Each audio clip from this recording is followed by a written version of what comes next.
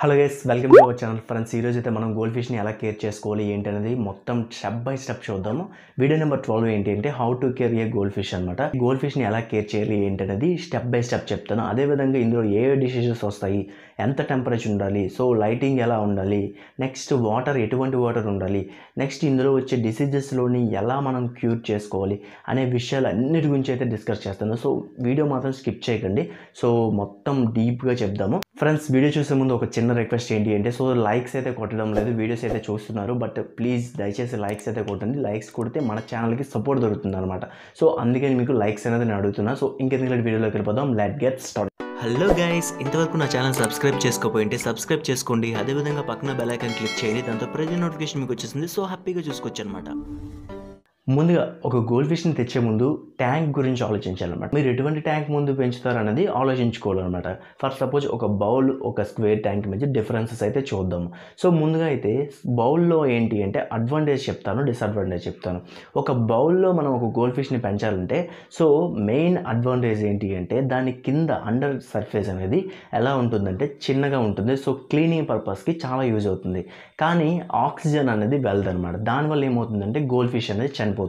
So ముందుగా square type కానీ తీసుకున్నారనుకోండి సో ఈ స్క్వేర్ టైప్ ఏంటి అంటే సర్ఫేస్ కొంచెం పెద్దది ఉన్నా క్లీనింగ్ కొంచెం కష్టంగా ఉన్నా సరే ఆక్సిజన్ మనకి ఈజీగా వెళ్తుంది అనమాట ఐ మీన్ బయట నుండి వచ్చే ఆక్సిజన్ అనేది లోపలికి ఈజీగా వెళ్తుంది.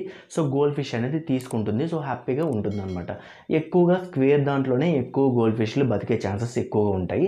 బౌల్ దాంట్లో మాత్రం మ్యాక్సిమంలో మ్యాక్సిమం బతకవు అనమాట సో నెక్స్ట్ ఏంటి అంటే దీన్ని బట్టి మీరు డిసైడ్ చేసుకోండి స్క్వేర్ తీసుకోవాలా బౌల్ తీసుకోవాలన్నది. స్క్వేర్ టైప్లో మాత్రం మీకైతే గోల్డ్ ఫిష్ అనేది ఎక్కువ కాలం బతుకుతుంది. సో నెక్స్ట్ ఏంటి ఎంచుకోవాలి? Gold fish.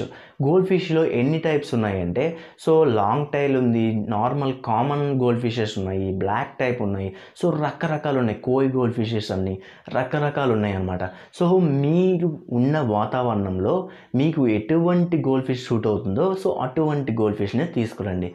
ఐ మీన్ ముందుగా మీరు షాప్కి వెళ్ళేటప్పుడు ఏం ఆలోచిస్తారంటే ఫస్ట్ మనం ఉన్న వెదర్ ఏంటి మనం ఉన్న టెంపరేచర్ ఏంటి సో ఇక్కడ ఎంత ఉంటుంది సో ఈ గోల్డ్ ఫిష్ ఇందులో సర్వే అవుతుందా లేదా అనేది మీ షాప్ కీపర్కి అడిగేసి మరీ తీసుకోండి. సో మీకు ఒక గోల్డ్ ఫిష్ నచ్చిందంటే వెంటనే గుడ్డిగా తీసుకుంటే మాత్రం డెబ్బై అయిపోతాం అనమాట ఐ మీన్ నేను కూడా అలానే చేశాను. చాలా గోల్డ్ ఫిష్లు అలానే నా దగ్గర కూడా చనిపోయాయి. సో ఇది నా పర్సనల్ ఎక్స్పీరియన్స్ అనమాట మెయిన్గా గోల్డ్ ఫిష్ ఎంచుకునే ముందు ఏంటంటే హార్డ్ ఉండాలి. నెక్స్ట్ గోల్డ్ ఫిష్ అనే అన్ని హార్డ్ ఉండవు. బట్ కొన్ని గోల్డ్ ఫిషెస్ మాత్రం ఈ మిగతా వాటి మీద బెటర్ అనమాట ఐ మీన్ ఎంతో కొంత బెటర్ సో ఇదేంటి అంటే హార్డ్ ఉండాలి. అదేవిధంగా ఎక్కువ కాలం సర్వైవ్ అయి ఉండాలి. సో ఎటువంటి వెదర్లోనైనా కొంచెం మూవ్ అయ్యేటట్లు ఉండాలన్నమాట. ఐ మీన్ సర్వైవ్ అయ్యేటట్లు ఉండాలి. అటువంటి గోల్డ్ ఫిష్ని తీసుకుంటే మీకు అనేది యూజ్ ఉంటుంది.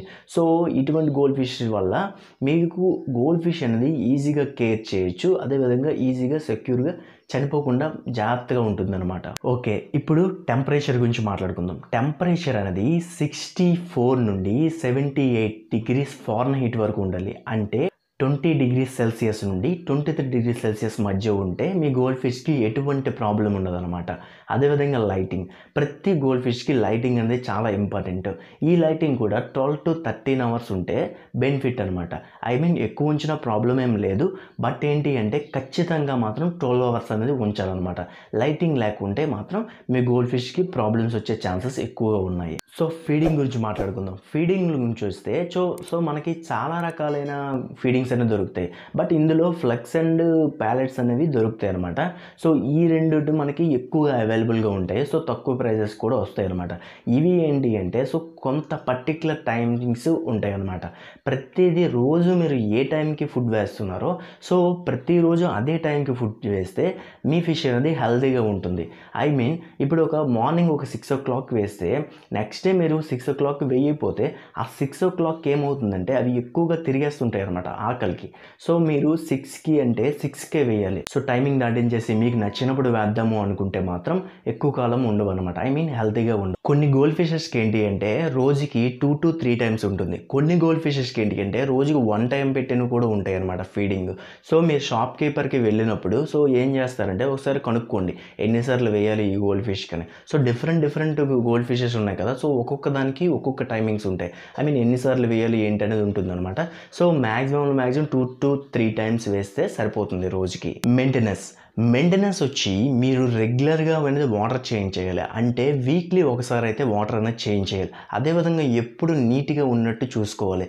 నెక్స్ట్ ఏంటి అంటే ఫిల్టర్స్ని యూజ్ చేయాలి. స్పాంజ్ ఫిల్టర్స్ పవర్ ఫిల్టర్స్ ఇవన్నీ యూజ్ చేసుకొని సో మీ ట్యాంక్ని ఎప్పుడు నీట్గా ఉండడానికి ట్రై చేయండి. సో అండర్ సర్ఫేస్లోని ఏం చేస్తారంటే స్టోన్స్ని అవాయిడ్ చేసేయండి. So gold fish stones avoid చేసేస్తే మీకు బెనిఫిట్ ఏంటి అంటే ఎక్కువ కింద చెత్త అనేది లేకుండా సో అమోనియా ఏమి ఫామ్ అవ్వకుండా సో ఎక్కువ శాతం బతికే ఛాన్సెస్ ఎక్కువగా ఉంటాయి అనమాట మనం సైఫన్ చేసినప్పుడు కూడా చాలా సింపుల్గా అయిపోతుంది. లేదు అంటే ఈ రాయిల మధ్య ఇరుక్కుపోయి ఏమవుతుందంటే ఎక్కువగా అమోనియా ఫామ్ అయిపోయే ఛాన్సెస్ ఎక్కువగా ఉంటాయి అనమాట ఐ మీన్ ఈ ఫుడ్ అంతా ఉండిపోతుంది కదా సో వేస్ట్ అయిపోయిందంతా ఆ కిందకి వెళ్ళిపోతుంది. సో దానివల్ల ఏంటి అంటే సో ఎక్కువగా అమోనియా ఫామ్ అయిపోతుంది.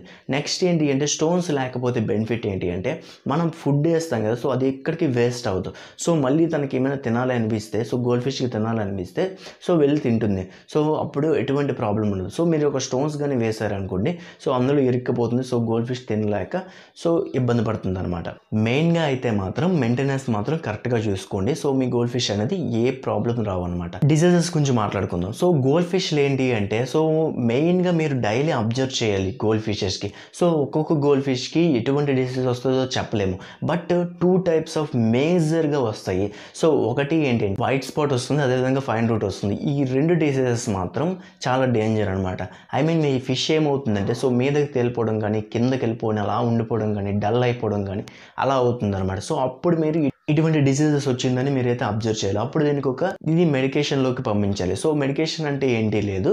సో ఏంటి అంటే క్లోరిన్ రిమూవల్ అనేది దొరుకుతుంది. సో అది వేసేసి మనం ఫిష్ నుంచి కొంచెం కేర్ చేయాలి. అదేవిధంగా మార్కెట్లో చాలా మెడిసిన్స్ దొరుకుతాయి.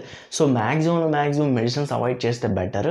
సో ఇటువంటి డిసీజెస్ కనిపిస్తే మాత్రమే ఈ మెడిసిన్స్ అనేది యూజ్ చేయండి. ఈ రెండు డిసీజెస్ నుండి కొంచెం దూరంగా ఉండడానికి ట్రై చేయాలంటే ఫస్ట్ నేను చెప్పే ఈ ప్రికాషన్స్ అన్నీ పాటిస్తే మాత్రం మీ గోల్డ్ ఫిష్కి ఎటువంటి డిసీజెస్ అనేవి రావన్నమాట. మెయిన్గా మీరు త్వరగా కొంచెం డిసీజెస్ని కనిపెట్టడానికి ట్రై చేయండి. కొంచెం లక్షణాలు ఎలా ఉంటాయంటే గోల్డ్ ఫిష్ అనేది మీదకి తేలిపోతుంది. సో ఒక సైడ్ ఇలా వాలిపోతుంది. సో అప్పుడు మీరు అబ్జర్వ్ చేయొచ్చు. అదేవిధంగా కిందకి డౌన్కి వెళ్ళిపోయి అలా ఉండిపోతుంది. సో చనిపోయే పొజిషన్లోకి వచ్చేస్తుంది. సో అలాంటి టైంలో మీరు ఏం చేయాలంటే సపరేట్గా పెట్టండి దానికి. సపరేట్గా పెడితే ఏమవుతుందంటే మిగిలిన ఫిషెస్కి ఈ జబ్బు అంటుకోకుండా ఉంటుంది అనమాట ఐ మీన్ ఈ రెండు డిసీజెస్ వేరే ఫిషెస్కి అంటుకోకుండా ఉంటుంది. సో సపరేట్గా పెట్టేసుకుంటే బెటర్ అనమాట ఐ మీన్ ఒక్క చేపనైనా తీసేస్తే మిగిలిన చేపలన్నీ సేవ్ అవుతాయి. సో దీన్ని కూడా కాపాడి ఇందులో వేసేయవచ్చు అనమాట మీకు ఎటువంటి డిసీజెస్ రాకుండా ఉండాలంటే సో నేను చెప్పే ఈ ప్రికాషన్స్ అన్నీ మీరు కానీ పాటించినట్లయితే సో మీ గోల్డ్ ఫిష్కి ఎటువంటి ప్రాబ్లమ్స్ రావు. నెక్స్ట్ మీ గోల్డ్ ఫిష్ చనిపోదు. సో ఎక్కువ కాలం సర్వైవ్ అయ్యే ఛాన్సెస్ ఎక్కువగా ఉన్నాయన్నమాట. సో ఇది ఫ్రెండ్స్ ఈ వీడియో సో ఒకవేళ ఈ వీడియో నిజంగా నచ్చినట్టుంటే లైక్ చేయండి అండ్ షేర్ చేయండి అండ్ సబ్స్క్రైబ్ చేయండి. నేను మీ వంశీ సైనింగ్ అప్ బాయ్